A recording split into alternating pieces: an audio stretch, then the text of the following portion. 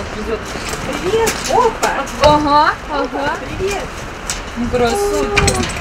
Сейчас сова может летать, а пару месяцев назад едва не погибла. Птица ударилась о стену Лениногорской школы. Ее сразу окружили вороны. Одно из последних приобретений Альметьевского зоопарка – длиннохвостая неясыть. Нашли ее в ноябре прошлого года около двора Лениногорской школы.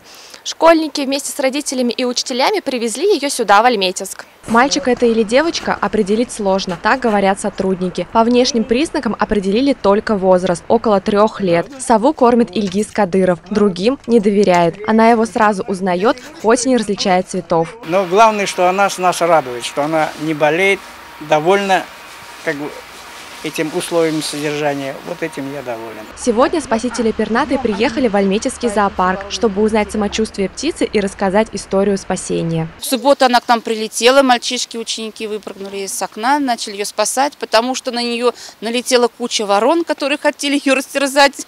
Вот она раненая. Это кадры первых дней пребывания птицы в школе. Сову решили поместить в шкаф кабинета биологии. Днем птица почти ничего не видит, поэтому вела себя спокойно. А ближе к ночи активизировалась. В школе ее пытались кормить сырым мясом, поили водой. Было очень жалко. Она, ну, не ела, мы не знали, что с ней делать, думали уже она с, го с голоду может умереть, там, не знаю, ей было страшно в маленьком пространстве, ей же нужен огромный вольер. Держали птицу до понедельника, после решили, нужно искать для нее место обитания побольше, хотя бы временное. Я звонила со своей стороны ветеринарную службу у нас в Лениногорске, в лесничество пытались дозвониться, как бы, но нам сказали, что у нас в городе нет орнитологов, нет специалистов, которые могли бы заняться этим вопросом. У учениц школы возникла идея позвонить в ближайший зоопарк, где они часто бывают летом. Таким оказался наш, Альметьевский. Сотрудники на просьбу о помощи откликнулись, поэтому решили перевести бедолагу. Птица перенесла дорогу спокойно. После того, как ее привезли, интересовались ее жизнью, как она и что с ней случилось вообще, что с ней было,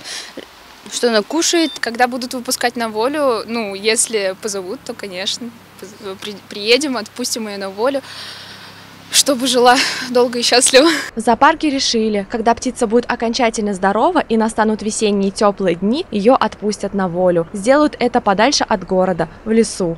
Лиса Навзалова, Тимур Туманов, Альметьевск ТВ.